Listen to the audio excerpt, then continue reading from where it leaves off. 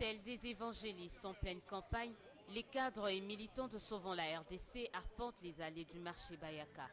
Boutiques, magasins, étalages, même vendeurs ambulants, aucune couche n'a été épargnée par le message de cette plateforme, lequel se résume à un refus de l'Office national d'identification de la population, synonyme selon Sauvons la RDC des préparatifs d'un glissement du mandat de l'actuel pouvoir.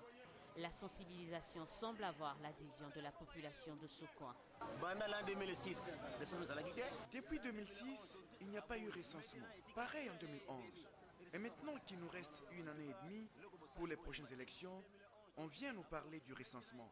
En tout cas, nous ne sommes pas d'accord. Et donc nous appuyons cette initiative de Sauvons la RDC.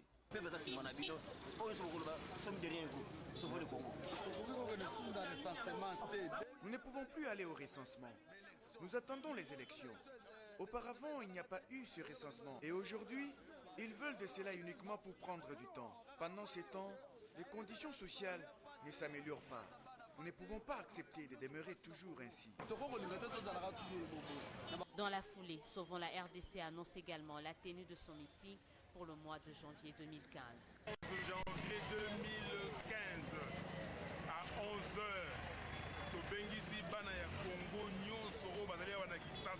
Nous invitons tous les Quinois à venir au meeting. Nous allons échanger sur la marche du pays.